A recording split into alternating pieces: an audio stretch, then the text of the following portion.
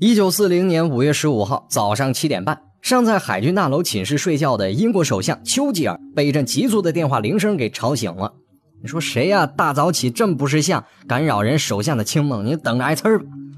结果呢，电话那头传来的是法国总理雷诺沮丧的声音：“我们被击溃了，我们输了这场战役。”又一听这个，丘吉尔也懵了，这大早起怎么回事？不是做梦呢吧？一阵尴尬的沉默之后，丘吉尔啊勉强挤出了一句话：“想必不可能输得这么快吧？”是啊，德军进攻西欧才刚刚五天啊，怎么可能呢？但是令丘吉尔万万没想到的是，情况竟然已经危在旦夕。五月二十四号，四十多万盟军被逼退到法国敦刻尔克港附近的弗兰德斯海岸，而希特勒的先遣部队就在十英里之外，两军之间几乎毫无屏障。形势十万火急呀！盟军三面受敌，一面临海，唯一的生路就是从海上撤往英国，也就是敦刻尔克这个仅有万名居民的小港。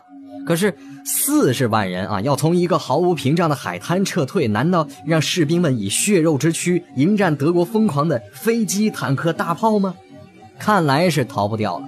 巴黎街头人人万念俱灰，政府办公楼里许多人呢也在争分夺秒的焚烧档案。然而，仿佛就跟做梦一般，才十一天，这支被围困的盟军竟然成功的获救了，三十三万多人安全撤回英国。这一传奇的行动呢，就是史上著名的敦刻尔克大撤退事件。对德国而言呢，它错失了一次永不再有的良机；而对英国而言啊，它是扭转第二次世界大战的关键节点。问题是，这一切究竟是怎么发生的呢？一向攻势凶猛的德军都把敌人逼到死胡同了，为何又让对方逃出升天了？啊，这中间到底发生了什么呢？盟军这边又是谁指挥并成功策划了这次行动？最起码啊，他们哪来那么多船只，在短短几天之内运送这几十万人？今天我们呢，就为您带来一本书，讲述敦刻尔克大撤退的历史名著，名字就叫《敦刻尔克》。一本大有来头的书，作者沃尔特·劳德是美国著名的作家，历史叙事的名家。当年此书一推出，便轰动了全世界。至今呢，已经过去三十多年了，依旧稳居美国亚马逊历史小说类销售的第一名。这本书为什么这么吸引人呢？因为它贵在真实。要知道啊，为了写这本书，沃尔特·劳德啊，可是走遍世界各地，访问了几百名军官、士兵和百姓。包括英国人、法国人、比利时人，还有他们的对手德国人。除此之外呢，他还搜罗各种战争记录、图书馆文献、旧报纸和旧日记，从而为我们还原了最真实、最清晰的敦刻尔克大撤退。听到这儿，您是不是很感兴趣呢？会不会觉得热血沸腾呢？那么，就让我们一起进入这本《敦刻尔克》，回到七十七年前的那个战场、那片海滩，重温那一次人类历史上的奇迹。在讲述这次大撤退之前呢，咱们有必要了解一下事情的起因。一九三九年的九月一号，随着德军闪击波兰，第二次世界大战爆发。九月二号，英国和法国向德国发出了最后通牒，但是德国啊没搭理他们，就没答复。因此，到了九月三号，英国和法国呢就进入了战争状态。可是战争爆发之后啊，强大的英法盟军竟然是按兵不动啊，眼睁睁地看着波兰被德军蹂躏成一团破抹布。而与法军对峙的德军反应也很奇怪啊，他们也是一动不动的就在那儿待着，就好像意思就是说，我我我不先动手啊，你先打我，你打我我就打你，你不打我我就不打你。双方就这样啊，就在德法边界上啥事也不干的耗了大半年，因此被称作了奇怪的战争，或者干脆就叫静坐战。德国人呢没有进攻，那是因为他们缺兵少卒，大部分人马呢都拉到东边去打波兰了，留在西边的呢基本上就没多少人了。可是法国的反应呢就让人搞不懂啊。从陆军的实力来说，这法国是当之无愧的欧洲第一，装备精良，粮草充足。如果他们真是想要进攻的话，就以德国那点部队，绝对是挡不住的。那么法国人到底是怎么想的呢？原来啊，在第一次世界大战当中，法国的损失非常惨重。法国由此就得出了一个观点啊，也可以说是经验教训：战争中进攻的一方太吃亏，还不如防守来的划算啊！因此，他们干脆就在那儿快快活活的防守啊，依仗着坚固的马奇诺防线，以为自己是高枕无忧。法国人还认为啊，德军如果进攻法国，一定会寄到荷兰和比利时，然后呢，从法国北部发起进攻。果不其然，到了一九四零年的五月十号，德军开始进攻西欧。战争一开始，盟军拥有一百四十七个师，三百多万军队，实力呢并不比德军差。但是德军竟然在短时间内便扫荡了丹麦和荷兰，而盟军这边依然是行动迟缓。直到这德国进入比利时的时候，这盟军这才立刻赶赴战场，准备迎战德军。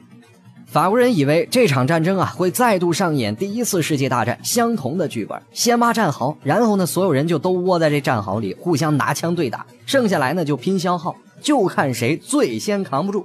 不过一战到二战这都已经过去二十年了啊，这新的武器装备它带来了新的战术啊。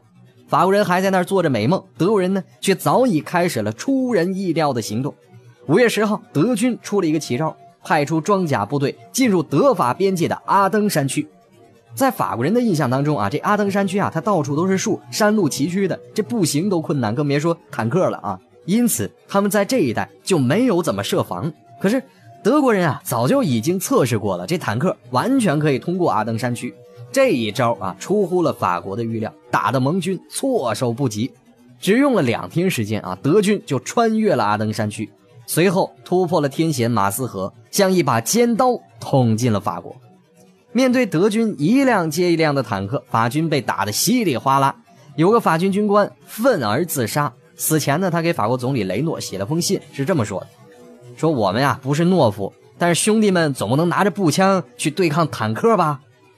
在名将古德里安的率领下，德军坦克一路狂飙突进，这根本就不像是打仗，这战场啊都变成了德军的赛车大会了。法军呢是被打得一塌糊涂，英军也好不到哪里去。他们竟然拿着纸箱子来设置路障，以阻拦德军坦克的前进。你都没有给对手最起码的尊重，人不打你打谁呀？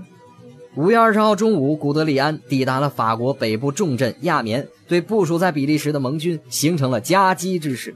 可是盟军竟然对此一无所知。到了第二天啊，他们又开始手忙脚乱的撤退。几十万人的部队立刻乱成了一锅粥，有的是跑错了地方的啊，有的人是迷失了方向的，还有人根本就还没有接到撤退的命令。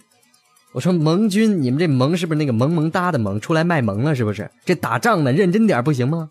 士兵们忙不迭地爬上卡车啊，连车顶和引擎盖上都挤满了人，生怕自己会被丢下。很快，德军的飞机就跑到了盟军的头上啊，在那儿又是扔炸弹，又是用机枪扫射。撤退呢，就这样变成了逃跑比赛。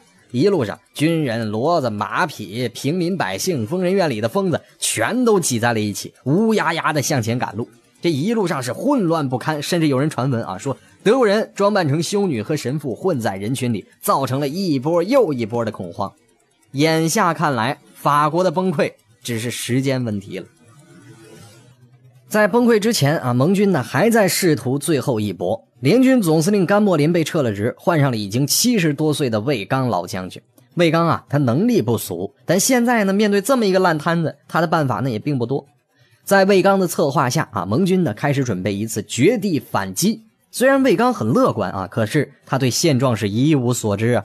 事实上，德军已经开始了合围，盟军的反击还没有做好准备，就听说比利时军队啊快扛不住了。许多比利时士兵完全就不打仗了啊，一个个都躲在咖啡厅里边瞎晃悠。反击是肯定不行的啊，再也不能自欺欺人了。这个时候呢，英国远征军的总指挥哥特勋爵做出了一个英明的决定啊，他下令英国远征军不要参与反击啊，改为全线撤退，退回英国。从哪里撤退呢？距离他们最近的撤退点只有三个法国港口：敦刻尔克、加莱和布洛涅。很快的啊，法军呢也清醒过来了，同意了这个计划。五月二十三号，德军开始逐渐缩小了包围圈，英国远征军和法军主力都被挤在了一个狭长的区域啊，一步步的向海边撤退。就在这个区域之外，德军的坦克正在隆隆的推进。很多人以为英军即便是撤退啊，也只能是救出两三万人，至于法军呢，那就要看运气了。此时此刻啊，德军那边呢倒是一片欢欣鼓舞。古德里安是志得意满，他下令兵分三路啊，冲往法国沿海的三个港口，准备彻底的切断盟军撤退的道路。德军进展神速啊，一路上他们缴获的战利品堆积如山啊，俘虏一伙接一伙的。到了五月二十四号，德军的先头部队啊，距离敦刻尔克只剩下十几公里了。这德军呢，已经是胜利在望。可就在这个时候啊，德军的高层呢，开始自毁长城了。因为德军啊跑得太快，军方高层都不知道该下达什么命令了。他们认为啊，虽然德军推进很快，但是呢，也损失了不少的坦克啊，是该停下来休息休息了。于是就在二十四号当天，德军军方下令坦克部队暂时休整，原地待命。就在德军休息的时候，另一个成事不足败事有余的人就登场了。他就是希特勒的心腹啊，纳粹高级官员，同时也是德国空军的司令戈林。按道理说啊，打仗的时候各个兵种啊应该是齐心协力。可是看着陆军取得了巨大的胜利，作为空军老大的格林呢，不由得这心生嫉妒啊！凭什么你们在那儿一直争功啊？这我我我也得出来露两手。五月二十三号，正当盟军乱哄哄的撤退时，格林觉得自己的机会来了。他打电话给希特勒说：“现在盟军啊已经是穷途末路了，他的空军能解决一切问题，不仅效率高，而且啊成本低啊。再说，如果空军取得了最后的胜利，德国人民都会记住这是元首的胜利。相反呢，如果是陆军打赢了最后一战，人们只会认为啊德国的伟大胜利是那些将军取得的。”啊，这些鬼话呢，别人不信，但希特勒信啊！他直接下令陆军呢继续原地休息啊，不许前进。接到命令之后呢，古德里安是仰天长啸，而陆军司令伯劳希奇啊，跑去质问希特勒，结果呢被骂了个狗血喷头啊！你说谁还敢再说半个字啊？希特勒的这道命令给了盟军三天时间，而这三天时间呀，足以诞生一个奇迹。德国人停了下来，可盟军啊还是很紧张，一个个手忙脚乱地修筑工事，还有十五万人马正沿着狭小的通道向海边撤退。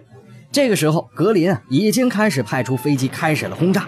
面对头顶上德军一轮又一轮的轰炸，盟军士兵的精神已经变得麻木，许多人因为睡不好而疲惫不堪，渐渐地失去了时间感与方向感。盟军的最高统帅魏刚估计也是老糊涂了啊，毕竟都七十多岁了。他还在想着啊，如何再一次发动绝地反击，把德国人赶走。还好，英国远征军的指挥哥特勋爵并没有失去理智。情急之下呢，他请求英国政府发动一切可以发动的力量，赶紧把兄弟们给撤回英国去。哥特找到了他的下属戈达德上校，让他火速返回英国，向大本营反映此事，一刻都不能容缓。戈达德转了一圈啊，只找到了一架英国飞机，而这架飞机呀，还被神经质的英军防空兵打了一炮，现在呢，正躺在一片农田里。经过一番抢修，这架飞机呢，出发了。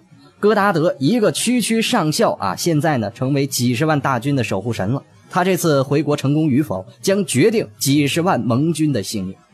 戈达德在第二天早上到达了伦敦。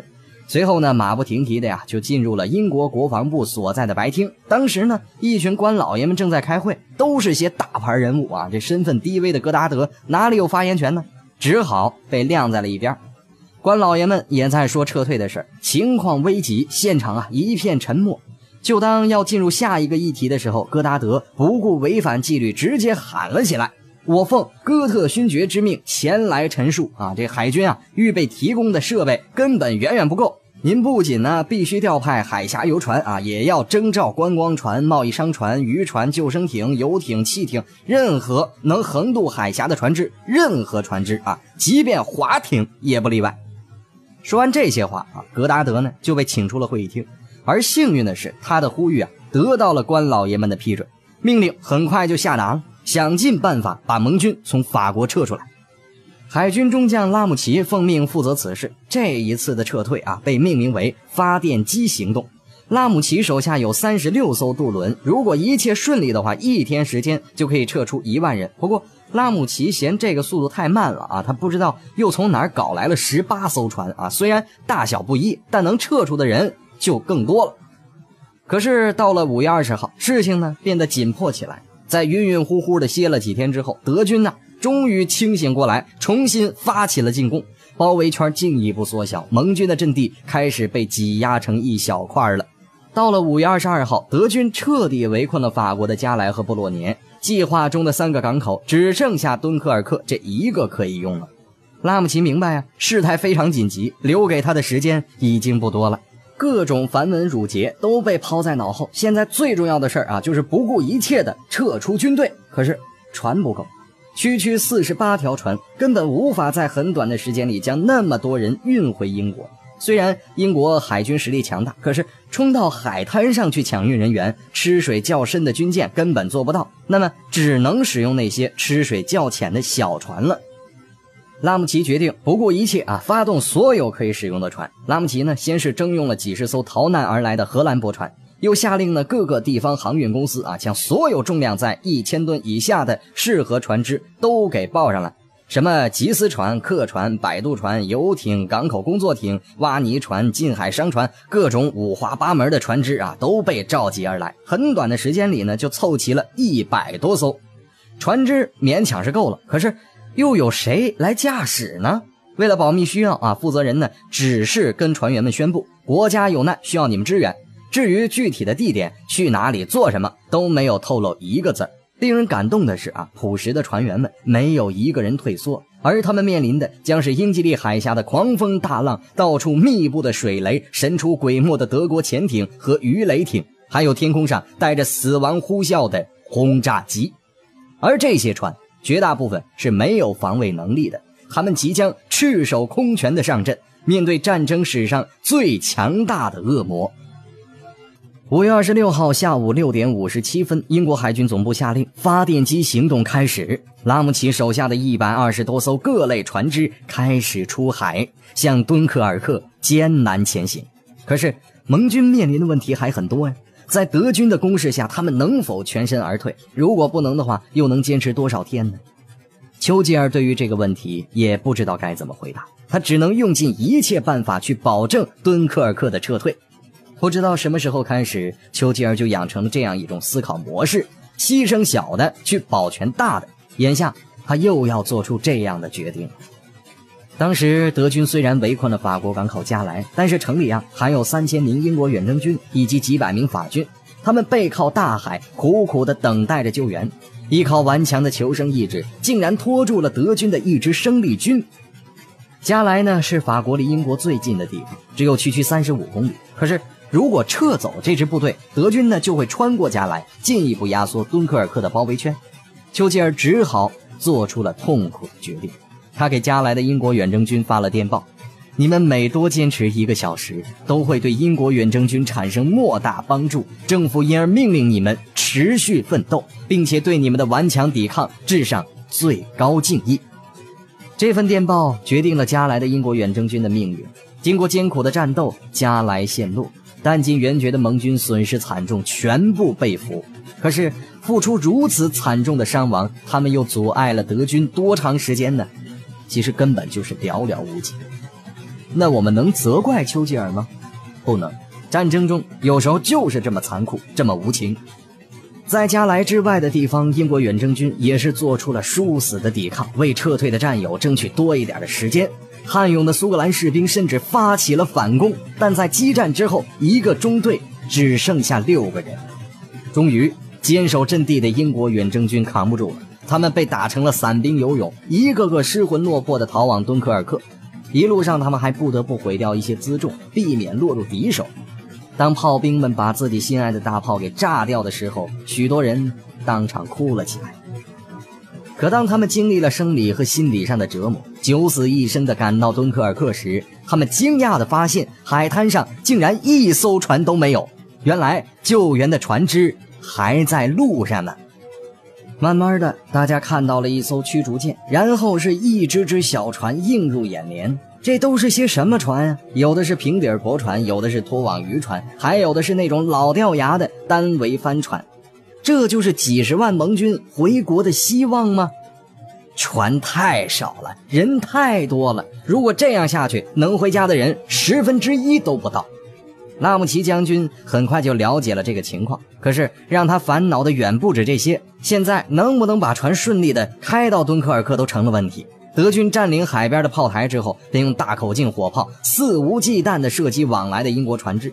这些船啊都是民用的，没有装甲，挨了炮弹之后只能自求多福了。有一艘大型游轮挨了一炮，伤了一个螺旋桨，只能慢吞吞地靠着另一个螺旋桨返回英国。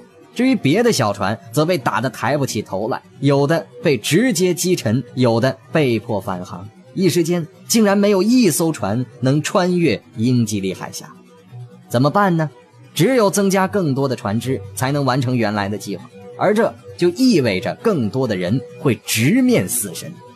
拉姆齐咬咬牙，做出了决定：所有船只不惜一切代价驶往敦刻尔克。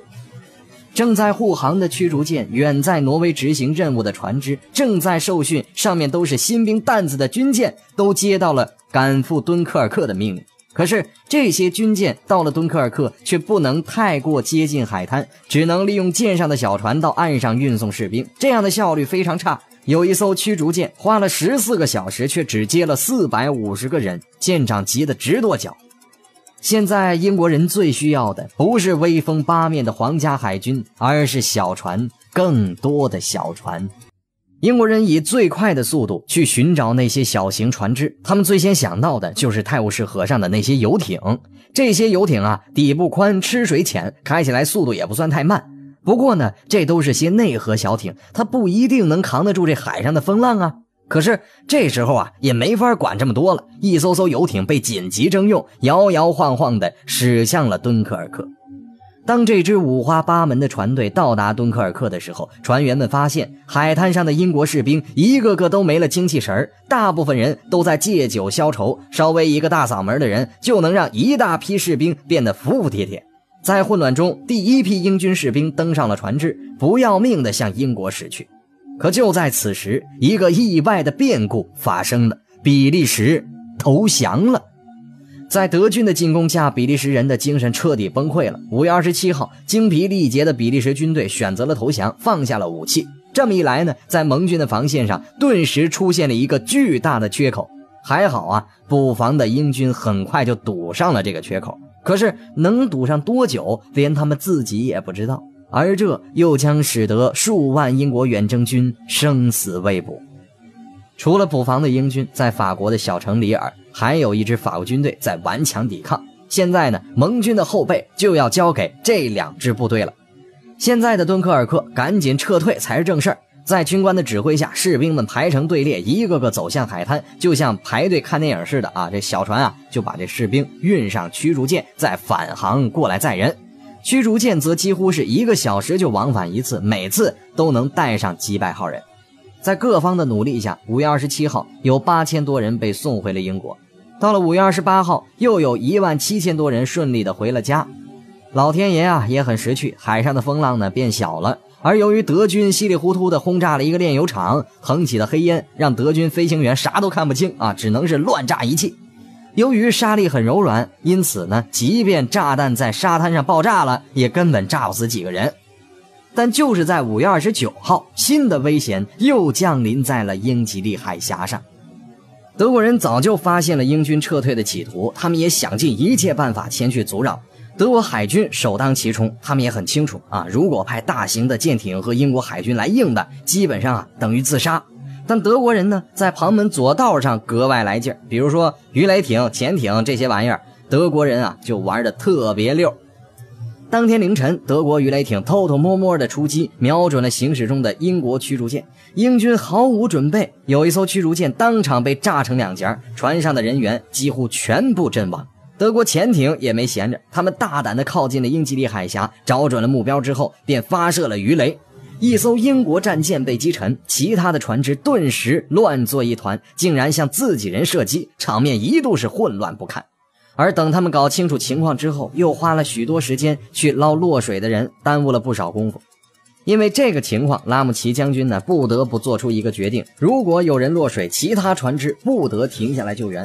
而到了二十九号下午，天气开始变得晴朗，风开始把之前的浓烟给吹散了。之前百无聊赖的德国飞行员，一个个终于是找到事儿做了。他们忙不迭地爬上了飞机。当德军飞到敦刻尔克上空时，他们看见了一艘艘英国船只正在火急火燎地装载人员。他们不加思索就朝这些船啊扔下炸弹，顿时三艘船被击沉，弹片横飞，又有许多人被炸得血肉模糊。在德军的狂轰滥炸下，仅仅是二十九号当天，就有几艘被征用来的大型船只，以及好几艘新锐军舰葬身海底，死者不计其数，这让海军高层人士心疼不已。毕竟以后的战争还很漫长啊，军舰不能全部都报销在这儿啊。晚上八点，他们无可奈何地命令拉姆齐撤回仅剩的八艘现代化驱逐舰，只留给他十五艘比较老旧的军舰。这些军舰啊，倒不是不能装人，就是速度比较慢。而在敦刻尔克呢，每快一秒都多一份获救的希望。那么，在这最艰难的时刻，英国人又是如何完成这一撤退的奇迹呢？且听下回分解。